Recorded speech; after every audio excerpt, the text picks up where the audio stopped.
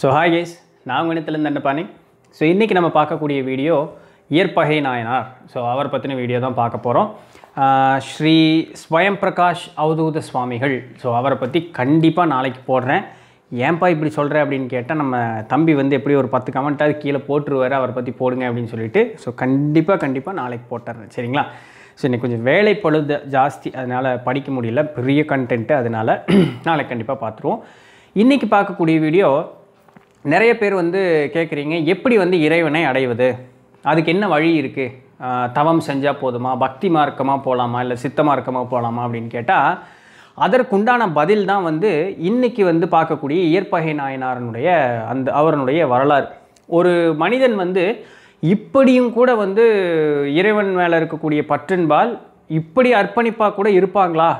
அப்படிப்பட்ட அர்ப்பணிப்புள்ளவர்களுக்கே வந்து இறைவன் வந்து அருள் புரிவார் அப்படிங்கிறதுக்கு உண்டான அளவுக்கு இவருடைய வாழ்க்கை வரலாறு அமையுது. என்ன எப்படி அப்படின்னு கேட்டால் நம்ம பார்ப்போம். ஸோ புகார் நகரம் அப்படின்னு சொல்லக்கூடிய காவிரி பூம்பட்டினத்தில் இருக்கக்கூடியவர் தான் பிறந்தவர் தான் வந்து இந்த இயற்பகையார் அப்படின்னு சொல்லக்கூடியவர். அதாவது வணிக குலத்தினுடைய மூ மூத்த குடி அப்படின்னு சொல்லக்கூடியவர்கள் இவர்கள். அந்த அந்த முதல் குலத்தவர்கள் அந்த அந்த அவங்க தான் இவங்க தான் தோற்றுவிக்கிறாங்க. இப்போ அந்த மாதிரி இருக்கவர்கள். ஸோ இயற்பகையார் அப்படிங்கிறவர் வந்து அந்த வணிக குலத்தை சார்ந்தவர்.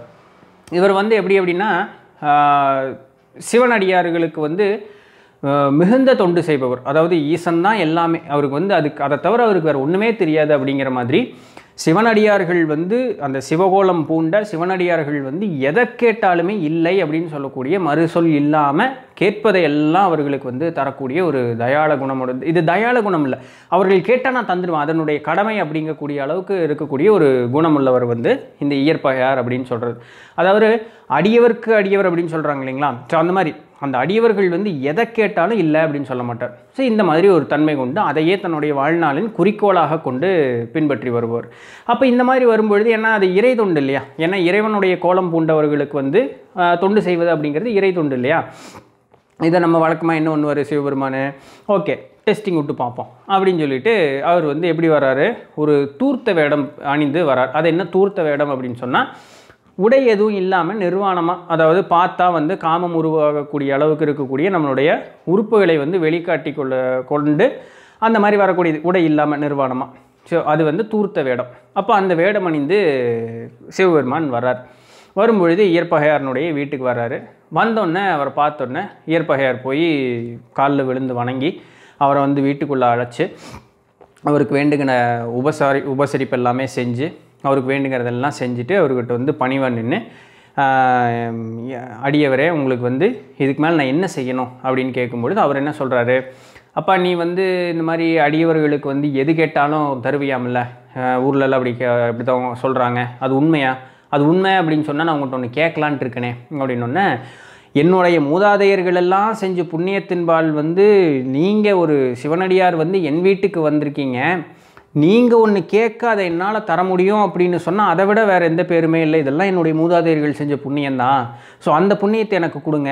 என்கிட்ட இருக்கிற பொருளாக இருக்கிற பட்சத்தில் அது என்னன்னு கூட நான் கேட்க மாட்டேன்னு உங்களுக்கு தந்துடுவேன் உண்மையா? தந்துருவியா? கண்டிப்பாக தருவேன். என்கிட்ட அந்த பொருள் இருக்கிற பட்சத்தில் கண்டிப்பாக நான் உங்களுக்கு தருவேன். எதை வேணாலும் கேளுங்க. சரி. உன்னுடைய மனைவியை எனக்கு கொடுத்துரு. அவ்வளோதான் அவர் அவர் ஒரு செகண்டு கூட ஜர்க் ஆகலை. அடடா அவ்வளோதானே சரி ஆனதாகட்டும். அடியவர் நீங்கள் கேட்டுட்டீங்க. கொடுப்பது என் கடமை அப்படின்னு கொண்டு நான் இவ்வளோ நாள் என்னுடைய வாழ்க்கையை வாழ்ந்துட்டுருக்கேன் மறுபேச்சு பேசுவதற்கு இல்லை. என்னுடைய மனைவியை வந்து நான் உங்களுக்கு தானமாக கொடுத்துட்றேன் சரி. அப்போது ஓகே அப்படின்னாச்சு. இவர் வந்து போகிறாரு அப்போது அந்த அந்த பெண்மணி எப்படி இருக்காங்க அப்படின்னு சொல்லி விவரிக்கிறாங்க. ஒரு லட்சுமி தேவியினுடைய அழகு அதாவது போன நம்ம திருநீலகண்டரில் எப்படி அந்த அம்மையாரை பார்த்தோமோ அது போலவே அந்த இறைவனுடைய அழகே வந்து பொய்த்து போகக்கூடிய அளவுக்கு அந்த அம்மையினுடைய அழகு அவ்வளோ அழகாக இருக்குமா? அவ்வளோ ஏன்னா ஒரு பெரிய வணிகர் குலம் இல்லையா? ஆடையால் ஆடையெல்லாம் போட்டு நல்லா அழகாக நீண்ட கூந்தலோட பூ வச்சு அழகாக இருப்பாங்களா அந்த பெண் பார்க்கறதுக்கு? மிகுந்த ஒரு ஒழுக்கமுடைய ஒரு கற்புக்கரசியாக வாழக்கூடிய அந்த பெண் அப்போ போய் இந்த மாதிரி சொல்கிறாரு இந்த மாதிரி அடியவர் வந்தார். என்ன வேணும்னு கேட்டேன். நீ தான் வேணும் அப்படின்னாரு. நான் தந்துட்டேன் அப்படின்னொன்னே அந்த பெண் வந்து மனசங்கடப்பட்டு கொஞ்சம் அழுகிறாங்க. இருந்தாலும் கணவன் சொல்லு தான் அந்த பெண்ணுக்கு வந்து முதல் சொல் அதை தவிர வேறு எதுவுமே கிடையாது அப்படிங்கிறதுனால நீங்கள் சொல்லிட்டீங்கல்ல இதுக்கு வந்து அதுக்கு மேலே எனக்கு வந்து மறுபேச்சு கிடையாது. நான் அப்படியே கேட்டு நடக்கிறேன் அப்படின்னு சொல்லணுன்னே இரண்டு பேரும் அந்த மனைவியார் வந்து அவருடைய கணவரை வணங்க. கணவர் வந்து மறுபடியும் மனைவியாரை திருப்பி வணங்க. இரண்டு பேரும் ஒருத்தருக்கு ஒருத்தர் மரியாதை செஞ்சுட்டு ரெண்டு பேரும் ஒட்டுக்கா வெளியே வர்றாங்க.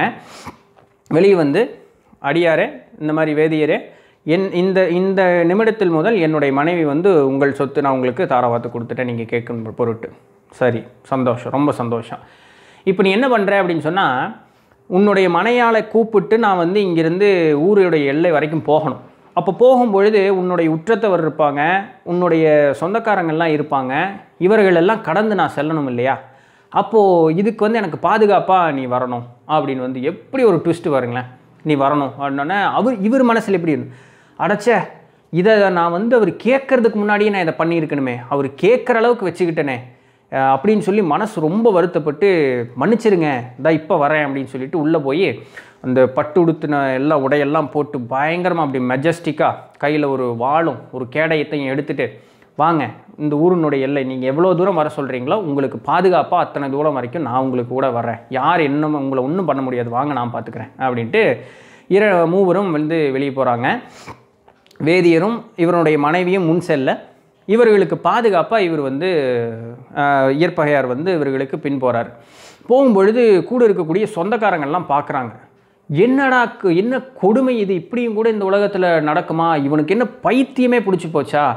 இப்படி என்னத்தை கேட்டாலும் தந்து தந்து தந்து கடைசியில் இப்படி பொண்டாட்டியும் தந்துட்டானே. நம்மளுடைய குலத்தினுடைய மான மரியாதையெல்லாம் போச்சு.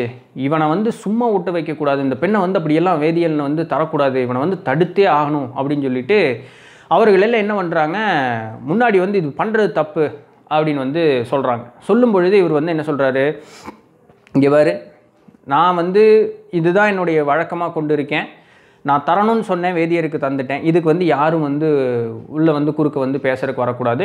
எவனாவது வந்தீங்கன்னா தேவையில்லாத பிரச்சனையாகும். அப்போது இதை வந்து யாரும் கேட்கறதுக்கு இல்லாமல் ஆளாளுக்கு கையில் வந்து கத்தியும் கப்படாவையும் அம்பு வில்லு வாளுன்னு எடுத்துக்கிட்டு ஊர்லேருந்து எல்லாம் முன்னாடி ஓடி வர்றாங்க. ஓடி வரும்பொழுது இவர் இந்த வேதியர் வந்து அப்படி பயந்த மாதிரி அப்படியே காமிக்கும் பொழுது அவருடைய மனைவி என்ன சொல்கிறாரு ஒன்றும் பயப்பட வேண்டாம். இயற்பகையார் அவர்கள் எல்லாத்தையும் பார்த்துக்குவாங்க. நல்லா நோட் பண்ணுங்கள் என் கணவர் பார்த்துக்குவாருன்னு சொல்லலை. இயற்பகையார் பார்த்துக்குவாருன்னு தான் சொல்கிறாங்க ஏன்? இதுக்கு அவருடைய மனைவியாக அவர் இல்லை தாரவாத்து கொடுத்தாச்சு. அப்போது இவர் வந்து அந்த வேதியருக்கு அடிமை தான் அந்த பெண்ணு. தன்னுடைய கணவனுக்கு அடிமை கிடையாது. இயற்பகையார் பார்த்துக்குவாரு அப்படின்னு சொல்கிறாங்க அப்போ இவர் வந்து சொல்கிறார் வேண்டாம் எங்கள் முன்னாடி வந்த என்னை தடுத்த அப்படின்னு சொன்னால் நீ கொன்னாலும் பரவாயில்ல நான் வந்து உன்னை கொன்னுட்டு தான் நான் அதுக்கப்புறம் மறு வேலை பார்ப்பேன். அவர்கள் என்ன சொல்கிறாங்க இப்படி நீ பண்ணின ஒரு காரியத்தினால இந்த குலத்தினுடைய மானமே போயிருமே. பகை நாட்டவர்கள் எல்லாம் நம்மளை பார்த்து நம்ம நாட்டையும் நம்ம ஊரையும் பார்த்து இவ்வளோ கேவலப்படுத்தி சிரிப்பாங்களே. இதுக்கு நான் செத்தாலும் பரவாயில்ல உன்னை இந்த இடத்த விட்டு விட விட மாட்டேன் பெண்ணை வந்து வேதியன் கூட அனுப்பவே மாட்டேன்ட்டு அவர்கள் முன் வர ஒரே சண்டை பயங்கரமான ஃபைட்டு முன்னாடி வரவர்கள் எல்லாத்தையும் அந்த சினங்கொண்ட வேங்கை மாதிரி அந்த இடத்துல சோலவாக சமாளிக்கிறார். எப்படி ஒவ்வொருத்த முன்னாடி வரவன கை வரைய கால் வரைய தலை வரைய முண்டை வரைய எல்லாம் உடம்பு வேற எல்லாம் பிச்சு வெட்டி வீசிடுறாரு. அந்த இடமே வந்து அப்படியே மயான கோலமாக இருக்குது குடல்கள்லாம் வெளியே கிடக்கப்படியே எழுதுறாரு. குடல்களெல்லாம் வெளியே கிடக்க கை தனியாக கால் தனியாக தலை தனியாக கிடக்க பருந்துகளெல்லாம் வந்து மேல் சுற்றி வர உடலை வந்த இடமேகம் வந்து போர்க்களம் போல் ரத்த வெள்ளமாக அப்படியே காட்சி அளிக்க யார் யாரெல்லாம் எத்தனை பேர் வந்தாலும் அத்தனை பேர்த்தையும் வெட்டி வீழ்த்துறாரு ஏற்பகையார் வெட்டி வீழ்த்தி வர்றதுக்கு ஆள் இல்லாமல் அந்த இடத்துலையே வந்து தனியே ஒரு ஆளாக வாங்கடா பார்த்துக்கலாம் அப்படின்னு சொல்லிட்டு அந்த மாதிரி தனி ஒரு ஆளை வந்து வெறியோடு அப்படி இருக்கிறார். அப்போ இவரை பார்க்க வந்தவங்கெல்லாம் இந்த மாதிரி எத்தனையோ பேர்த்த வெட்டி வீழ்த்தணுன்னே நிறைய பேர் சொந்தக்காரங்களே வந்து பயந்து ஓடிடுறாங்க. அந்த உற்றத்தவர்களை கூட இருக்க நெய்பர்ஸ் எல்லாம் இருக்கலாம் அவங்களும் ஐயோ இந்த ஆள் போய் யார் போய் உயிர் கொடுக்குறதுன்னு அவங்கெல்லாம் பயந்து ஓடிடுறாங்க. ஓடுனோடனே வாங்க போகலாம் அப்படின்னு சொல்லி இவர் வந்து முன்னாடி அப்படியே வீறு கொண்டு முன்னாடி போகிறாரு இவங்களை வந்து அப்படியே கூட்டிகிட்டு வர்றார். கூட்டிகிட்டு வரும்பொழுது எங்கே வரைக்கும் வர்றாங்க? அப்படின்னு சொல்லும்பொழுது திருச்சாய்க்காடு. அப்படின்னு சொல்லக்கூடிய அந்த ஒரு இடம் வரைக்கும் வந்தோடனே இவர் என்ன சொல்கிறாரு வேதியர்? சரி நீ போ அப்படின்றார். நீ போ அப்படின்னு சொன்னோன்னே அவர் என்ன பண்ணுறாரு யார்? இயற்பகையார் என்ன பண்ணுறாரு மனசில் ஒரு சின்ன சஞ்சலம் கிடையாது ஒரு இது கிடையாது. அவர் வந்து அவனுடைய காலில் விழுந்து வணங்கிட்டு சரிங்க இது வரைக்கும் நான் உங்களுக்கு வந்து செஞ்சது வந்து ஒரு மிக ரொம்ப சந்தோஷமான ஒரு செய்தி அப்படின்னு சொல்லிட்டு அவர் வந்து திருப்பி நடந்துடுறார்.